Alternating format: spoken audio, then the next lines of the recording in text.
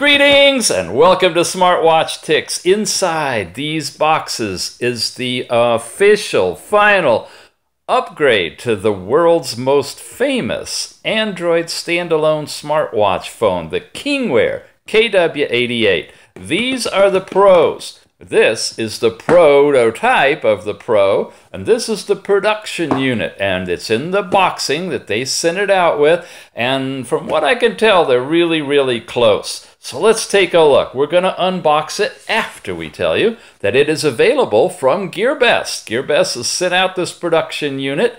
It's uh, available in the show notes down below. Really good price already, and hopefully we'll have a discount for you as well the Kingwear KW88 Pro 3G smartwatch now.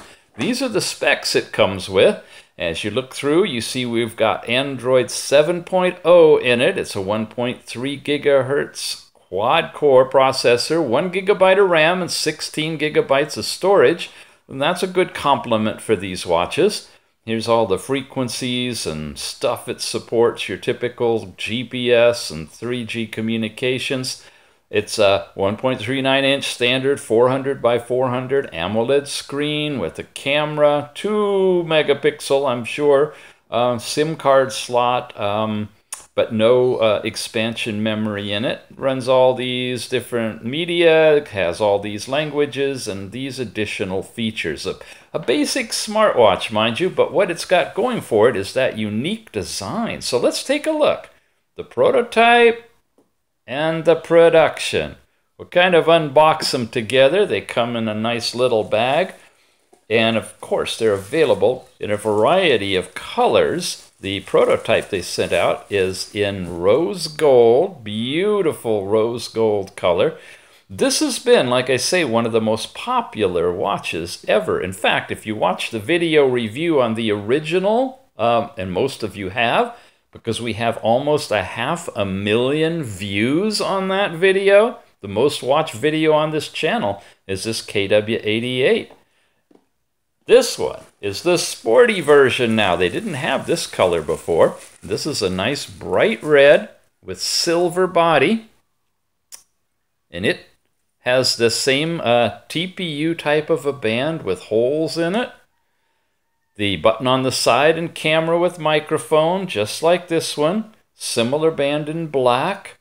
This side's got the big speakers. On the bottom, we've got the charging port, the cover for the SIM card, and the uh, heart rate uh, sensor. Yeah, they look the same. When we take out the lining of the boxes, we have a box in here, and I'm sure in here as well. Yeah, yeah. Uh, and inside the box is probably going to be the charging thing and screwdriver. Yeah, this is all bundled together. No extra screws here, but this is the standard 4-pin connector and screwdriver to take off the cover for the SIM card. We have a little screen protector, a card with notes on it about charging it, and a manual version 1.0, if you can see that over there. And this one, the prototype, came shipped with, aha, the charger, which I've already taken out and hooked up and used to charge these up with, and the screwdriver, so nothing different, same thing there. And uh, looks like we've got that same little card, the notes, and the manual. Yep. And it's also version 1.0 with a little bit of stuff on it and there's screen protector. So i got the same kit in the prototype as we, we, you get in the production unit if you order it. We'll go to this manual from the production one and show you uh, quickly what it talks about inside here. The networks that are supported for 3g are your standard ones. Product overview. Again you can freeze frame this if i'm going too fast most of you say I go too slow, and you could take a look at it at your leisure.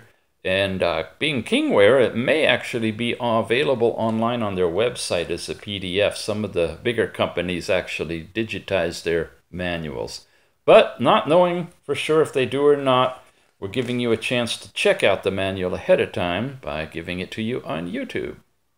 Okay. A lot of text in this one. Some of them are icon driven. This one is definitely word driven. And that should be the completion of the English portion. And now we go into, upside down, the Chinese version on the other side. All right, let me clear things out and we'll look at these watches. Let's press the buttons and fire them up. They've both been charged and we can peel off the screen protectors on both of them.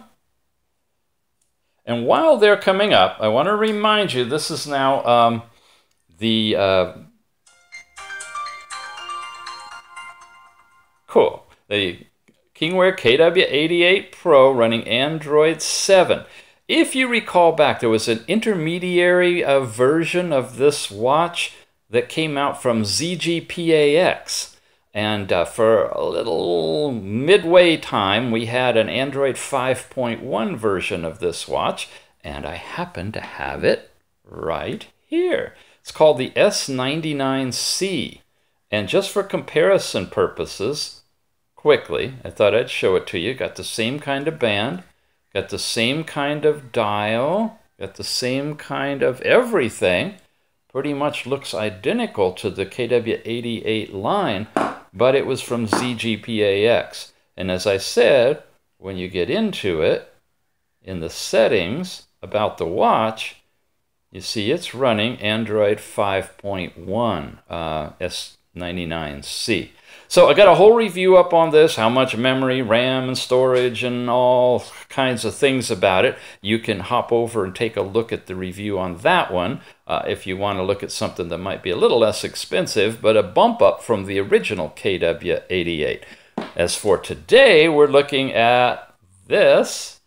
Oh, look at that. I'm down to 1%. This one wasn't charged. And look at it goes into this special mode. It's got the time only on it. It shows you the percentage and you can bail out of it, but you're not going to last very long. So I'm going to have to charge this one up. Uh, in terms of layout, we'll quickly look through them. They are identical from what I can tell because they're running basically the same thing, right? And if we go into system, which is where we get our overall information in about this watch in settings and about this watch, we can check to see that they're the same model number, running the same Android version.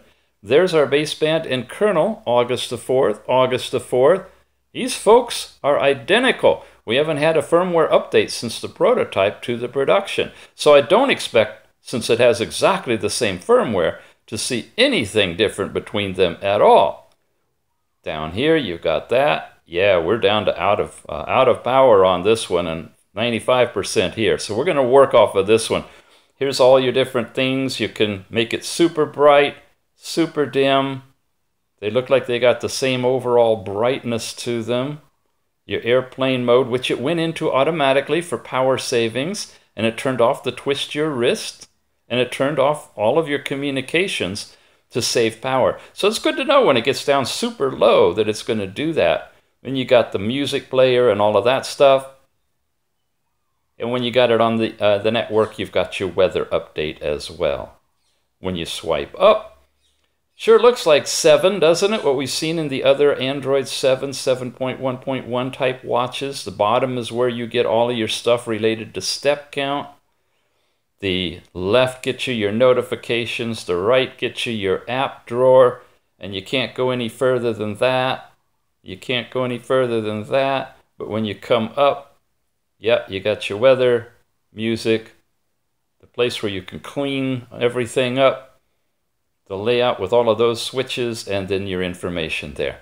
All right, so we're going to set the pretty gold one aside, and we'll do a deeper look here at the uh, production red one. What can I tell you? Let's go into the apps. We got contacts, phone, and messaging, which uh, tie in with your SIM card. And a reminder, a lot of you looking for that Bluetooth calling capability from a smartwatch, an Android watch, it only exists in Android 5.1. Um, not earlier, and not later. It has not been written to work in Android 7 or, or even 6, so you're not going to see that here. We'll come back to settings. You got your basic browser and downloads. The calendar and clock are the same. The camera is on the side and it's right here and it's a 2 megapixel. And what we like to do is take some pictures like so and run a little video like this. I'm now doing a video of my hand wiggling in the screen. I could stop that, he says. There, it said it was saving. Now we come in here and we play it. I cannot even hear my voice. But the picture's there. And we come into the picture and we double tap and we double tap again and you see that you have three levels of zooming. We don't have pinch and zoom. If I double tap and hold and pinch, it goes crazy. Um, so yeah, picture-wise, you just have two levels of zoom available to you. And that's everything you need to know about camera. Galleries where the pictures are saved. You have an onboard music player and you have a tethered uh, music player that'll play music from your phone. Sound recorder, your overall file manager that says that we have, whoops, let's go back out of there to that level. We have about 12 gigabytes of space left. Is that blooming out on you? There you go. Um, there's nothing installed in here, it's just straight out of the box. So you get a full 12 gigabytes of your 16 available to use how you would like. Heart rate monitor, weather, voice search is your basic Google. Being that it's Android 7, I'm pretty sure you can put the um, Assistant, Google Assistant in here so you get all that in-context type searching and more robust capabilities. Uh, I know it works well in 7.1.1, the Play Store, Maps, and Assistant here is the assistant for connecting to your phone and doing all the tethering stuff. And it wants you to uh, scan that QR code um, in order to get there. And then you have all these different um, things you can do connecting to the phone, wait for the connection, and scan the barcode. And it's the WiiWatch uh, app, either the basic or Watch app 2 I'll have that in the uh, show notes with a direct link to the Play Store so you can you can check it out. Now, last thing is the uh, watch faces that come with the new KW88 Pro. Uh, let's see what they've invented here for us. You notice that it's a really nice edge-to-edge -edge screen on this watch as well.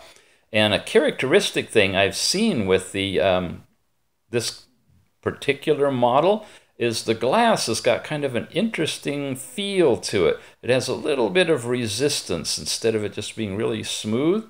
There's your tachometer with smartwatch written above it, fine digits, good quality. Um, yeah, it's got a really nice feel to it. I think that's that and the bezel itself is part of the draw that's led this to be a really popular watch. Now that's a nice one to finally finally show it on my arm, right? Okay. A Couple of these I've gone through the whole video and I get a comment back and said, You never even put it on your arm. What's up with you? Nice, huh? This is a classy watch. This really is a good uh, good design. It's been around. It's very popular. Since there's no differences on it, the updates and upgrades are all internal. Uh, so the only way you know is, well, what apps it might run um, and how it behaves. Okay, these are all the standard ones we've seen before. There's another one that might look good on the red. Yeah, another one. Uh-huh. Lots of dials and widgets and things. Could sometimes look busy. I know it's looking kind of bloomed out on the screen. Here you go. If you're on the internet, you can uh, add uh, watch faces from the server there. And if you download any uh, custom watch faces into the, uh, the watch, you want to make sure after you load them in there, you come over here and you hit that little button. That'll refresh the directory of all of these and you'll prevent yourself from possibly bricking your, uh, your watch. Wow, that is so bright. I'm going to come over here and turn it all the way down to dim. There, it's on its night vision mode and uh, still looks really, really hot. So this is going to be an easy one to see outdoors when you're in full brightness. Look at that. That's red. To me, that's red. And it is so bright, it's bloomed out the camera completely. Only way I can get it to show is if it make the, the automatic camera thing go totally dark in the background. That's how bright it is. Here it is on regular. Yeah. Uh, okay. All right. Uh, I think that's about everything we need to cover on this one, except remind you again that this is coming uh, from GearBest, the KingWear KW88 Pro. Check the shopping link down below for, oh yeah, okay, for a link over there and hopefully a coupon discount. And yes, yes, I heard you screaming. I will show you the, sys, uh, the settings here real quick. Settings. We've got your standard sound stuff that might be why the volume wasn't coming through on the uh, audio for the video. It was really kind of low right there. Uh, but this is all standard stuff on uh, with the speaker on the side. You should get good volume out of here. Our overall display where you can change the brightness and the sleep time from whatever you want up to 30 minutes. Notice there's no always on screen. That's a feature with 7.1.1 and some of the new watches we've covered where you turn it off and you still have uh, an analog uh, watch on there. You're not seeing that in 7.0. Unfortunately, it's not on the KW88 Pro either. Uh, otherwise, you'd see it in display there. Here's your overall app list style. You can have it arc arced or round like we've been doing is arced your connectivity where you have Bluetooth, Wi-Fi, and you can do a Wi-Fi hotspot if you think your battery is going to support it and your carrier will uh, allow it. Um, then you have GPS and uh, your airplane mode. And when you have cell, a SIM card in here, you get access to the cellular stuff down there. Gestures is about to twist your wrist to see the time. And yes, it shows you your actual watch face. No more of that silly digital time when you twisted it. And you can turn on or off the pedometer, save battery. If you don't use the pedometer, turn it off. Power savings mode for even more. Language and input, date and time that calibrates with your um, Wi-Fi typically. So make sure you're on Wi-Fi and see if your time will come back. If your time zone is off, turn the automatic time zone off and select your location. Here's how you reset the whole watch, uninstall apps, and if you have any more information, uh, you can handle it all here, including your Google accounts and so forth. We've seen this before in, in uh, excuse me, Android 6, I believe, definitely in 7 like this, and 7.1.1, so um, we're running through it pretty quick. All right, that wraps it up. KW88 Pro, long time coming, but a beautiful watch. And, oh, this is the black version of the S99C, but this is what it would look like with that kind of a bezel in the KW88 Pro.